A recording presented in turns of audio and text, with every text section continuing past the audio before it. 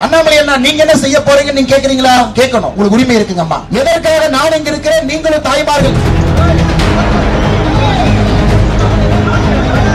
அண்ணா அப்படியே குமிங்கண்ணே குமிங்க.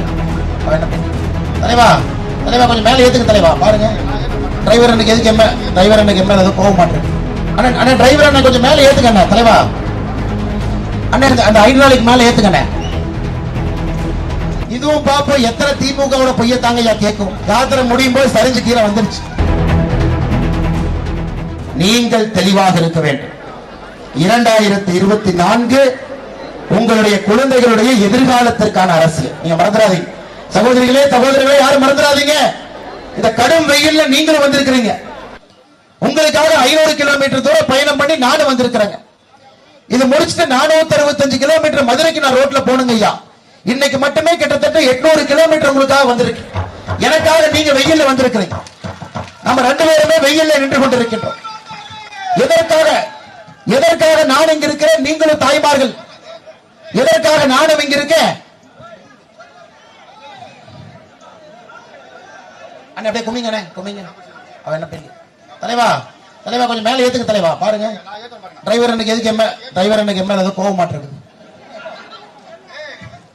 ஐயா. அண்ணன் அண்ணா டிரைவர் அண்ணன் கொஞ்சம் மேல ஏத்துங்க அண்ணா தலைவா. அண்ணன் அந்த ஹைட்ராலிக் மேல ஏத்துங்க இதுவும் பார்ப்போம் எத்தனை திமுகவோட பொய்ய தாங்கய்யா கேட்கும். யாத்திரை முடியும் போது சரிஞ்சு கீழே வந்துருச்சு. இதுக்கு மேல முடியாது தம்பி.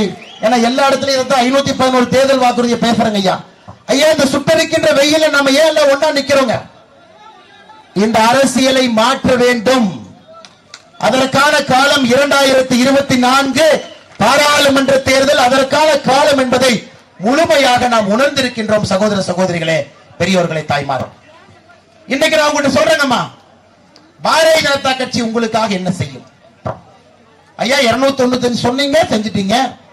ரெண்டாயிரத்தி இருபத்தி நாலு மோடி ஐயா இன்னும் ஒரு இருநூறு புது வாக்குறுதி கொடுப்பாங்க அதையும் செய்ய போறாங்க. தமிழ்நாட்டுல பாரதிய ஜனதா கட்சி அண்ணாமலை அண்ணா நீங்க என்ன செய்ய போறீங்கன்னு நீங்க கேக்குறீங்களா? கேக்குறீங்களா? கேட்கணும் உங்களுக்கு உரிமை இருக்குங்க அம்மா ஏன்னா உங்க வரிப்பணம். உங்க வரிப்பணத்துல தான் ஆட்சி நடக்கு. ஐயா இன்னைக்கு நாங்க சொல்றோம்.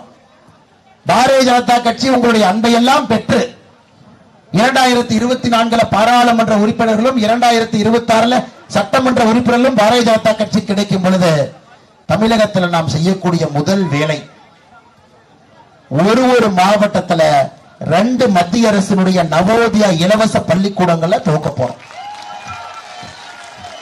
ஐயா இன்னைக்கு ஏழைக்கு ஒரு கல்வி பணக்காரனுக்கு ஒரு கல்வின்னு இருக்கு. ஏழை தாயினுடைய குழந்தைகளுக்கு தரமான கல்வி இல்லை. பணக்கார குழந்தைங்களுக்கு கான்வென்ட் கல்வி இருக்கு.